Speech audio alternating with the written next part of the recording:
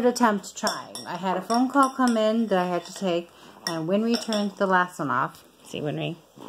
And the kids have now said hi to you several times. Ella's not here because she threw a fit when I put her in her chair. She's listening happily to a story in her room. Proverbs 4. Try to keep the phone away from Winry. Hear, O sons, of father's instructions, and be attentive that you may gain insight. For I give you good precepts, and do not forsake my teaching. When I was a son with my father, tender and the only one in the sight of my mother, he taught me and said to me, Let your heart hold fast my words, keep my commandments and live. God, get wisdom, get insight. Do not forget and do not turn away from the words of my mouth. Love her, and she will guard you. The beginning of wisdom is God's wisdom, and whatever you get, get insight. Price her high, and she will exalt you, and she will honor you if you embrace her. She will place in your head a graceful garland, and she will bestow on you a beautiful crown. Hear, my son, and accept my words, that the years of your life may be many. I have taught you the way of wisdom. I have led you to the path of uprightness.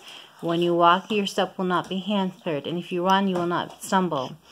Keep hold of your instruction. Do not let go. Guard her, for she is your life. Do not enter the paths of the wicked, and do not walk in the way of the evil. Avoid it. Do not go down it. Turn away from it and pass on. For they cannot sleep who have done wrong. They are robbed of sleep until they have, have made someone stumble. For they eat the bread of wickedness, and they drink the wine of violence. But the path of the righteous is like the light of dawn, which shines bright and brighter until full day. Let's turn the page. Mom. The way of the wicked is like deep darkness. They do not know they do not know over what they stumble. My son, be attentive to my words. Incline your ear to my sayings. Let them not escape from your insight. Keep them within your heart, for they are life to those who find them, and that healing to all their flesh. Keep your heart with all vigilance, for they for from it flows the springs of life. Put away from you crooked speech, and put your devious talk away from you. Let your eyes look directly forward, and your gaze be straight before you. Ponder the paths of your feet, then all your ways will be sure. Do not swerve to the right or the left. Turn your foot away from evil. All right, that was Proverbs 4. Do you have anything to say, Edward? Um. I have this and um. I have this and um. Um. I Daddy got.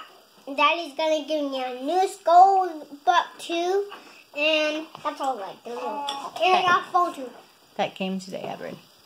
What? Your new school book came today. Yesy! Say, excuse me. Excuse me. Gwynnie, sit up and say goodbye. Goodbye. Sit up. Uh-huh. Bye from Winry. Goodbye. Goodbye. Goodbye. Okay, say bye. Bye. All right. Bye, everyone. We'll talk with you tomorrow.